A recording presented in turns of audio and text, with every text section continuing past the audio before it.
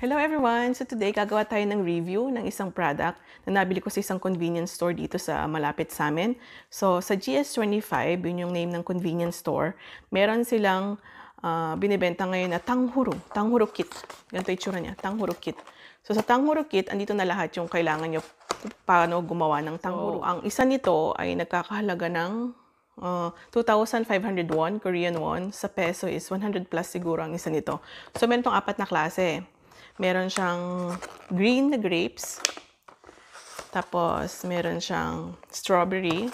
Tapos, yung red grapes. At saka yung isa niya yung yung cherry tomatoes, yung meron siya yung pang-apat. So, kanina nung pumunta ako, wala sila nung, nung sa tomatoes ko. Ito na lang. So, by the way, tanghuri sa Chinese snacks, yung fruits, ididip mo siya sa syrup. Uh, para, tapos pagka tumigas na siya, para siya magiging, oh, so yun na nga, fruit candy. Yan. So, i-open na natin. Ano mga laman? Tingnan natin.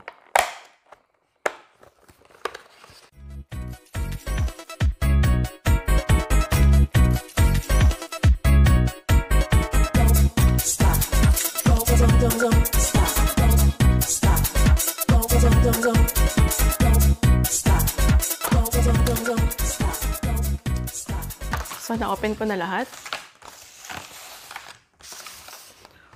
So, inopen ko na siya. So, sa bawat kit niya, meron siyang, dito sa ating red grapes, so meron siyang 10 pieces, siguro to 1, 2, 3, 4, 5, 6, 7, 8, 9, 10, 11, 12. So, more than 10 pieces na, na, na grapes. Tapos, meron siyang isang paper cup, dalawang syrup, strawberry syrup daw nakalagay. Talgi, talgi, hururu, huru. Huru, huru. So, dalawang uh, strawberry syrup. Tapos meron siyang dalawang stick. Dito sa ating strawberry, meron siyang merong 5 pieces na strawberries. Katulad ng kanina, dalawang syrup at saka isang paper cup. Sa ating green grapes, so sa kulay green na grapes, meron din siyang 10 pieces din, mahigit 10 pieces din yung laman niya. So paper cup, dalawang syrup, at saka yung stick. Sa bawat lalagyan nito, sa bawat kit, meron siyang um, instructions kung paano So sa first gumawa. instruction niya, kailangan daw nating hugasan yung ating mga fruits muna. So, hugasan muna natin.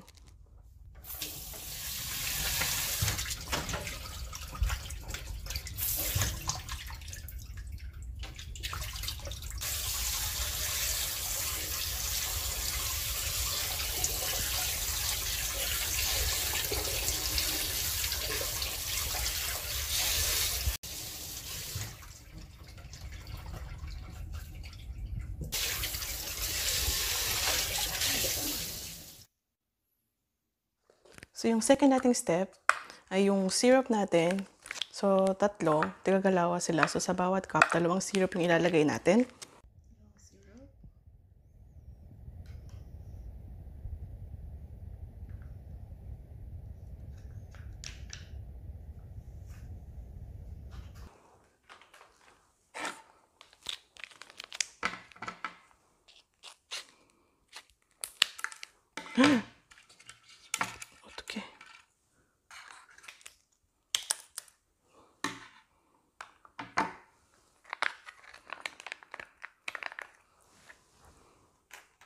So, i-microwave natin.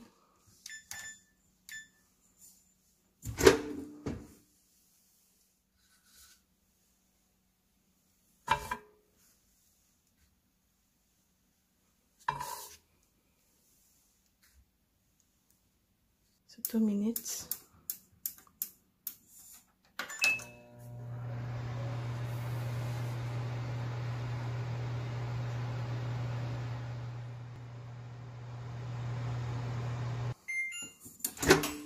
Tapos na. Natin ko nag-change na yung kulay niya. So, mag-add pa tayo ng 10 seconds, sabi doon. Kasi mag-add ng 10 seconds pag hindi nag-change yung kulay niya. So, 10 seconds.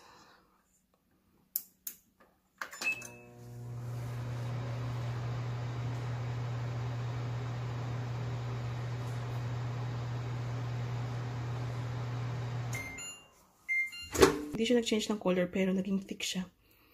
Para tumikit siya sa ating fruits. So, ngayon, ay lalagyan natin sila sa stick.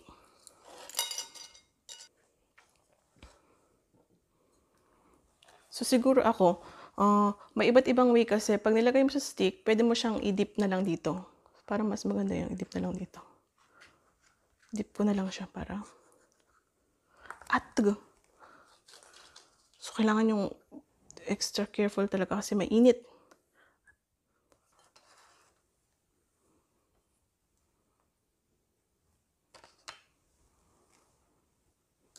됐어?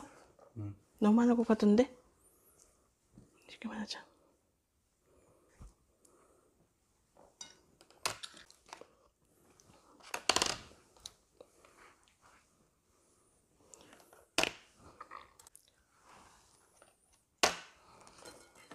So, ayan, may natira pa tayo. Kainan natin yeah. mamaya.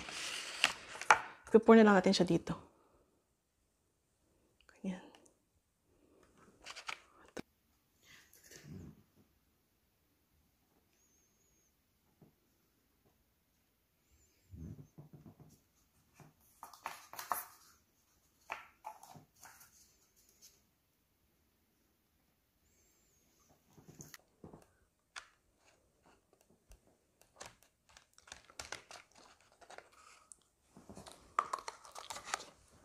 Atin natin yung tanghuro.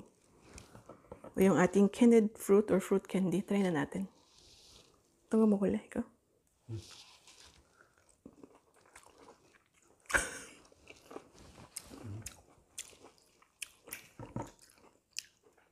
Yung antak talaga Diyos to.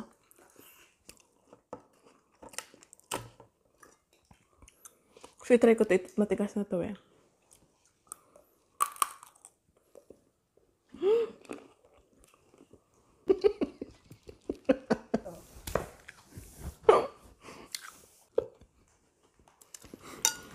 So, kung may implant kayo o may dental implant kayo o naka-brace kayo o naka-pustiso kayo, siguro, better na wag yung kagatin kaagad yung parang candy siya, tunawin nyo muna yung yung syrup na, na yung coating niya, yung, yung syrup niya bago yung ray. yung yung mister ko tumikit sa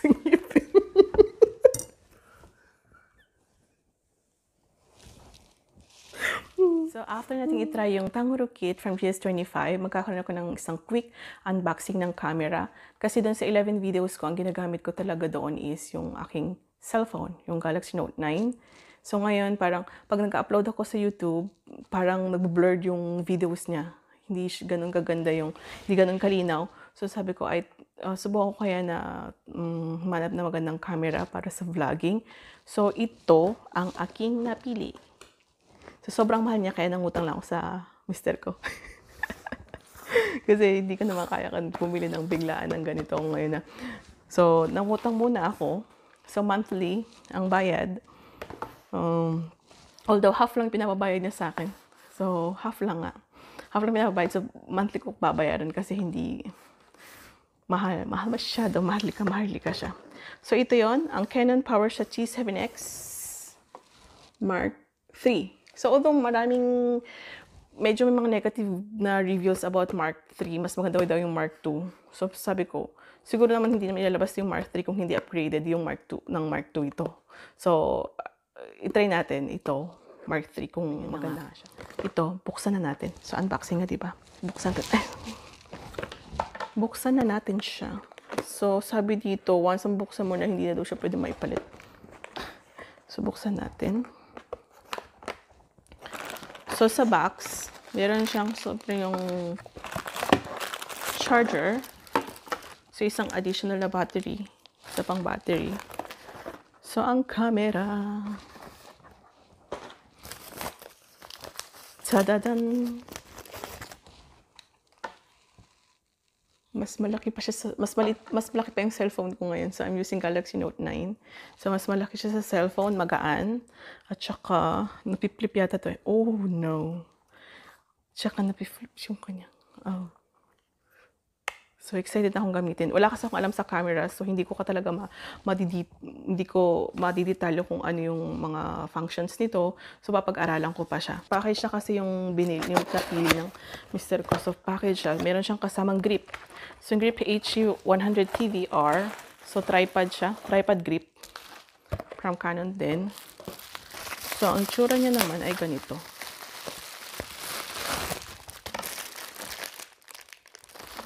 So, meron din siyang strap. Ito na.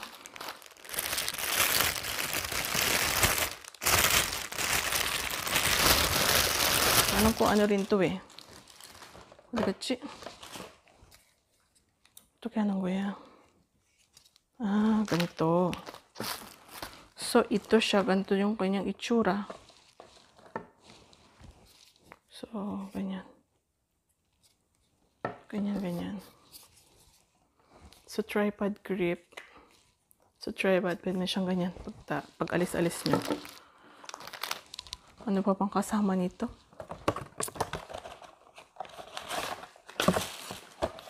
Tapos, meron siyang kasama nito. Alam ko to na, ano to eh, Bluetooth din to eh. Parang remote control ng grip.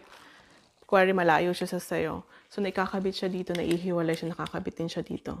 Ganyan, parang ganyan. So, maganda, magaang din siya. Hindi siya nakakangawit gamitin. Tapos, meron siyang kasamang bracket. Kasi ito, i-connect mo siya dito.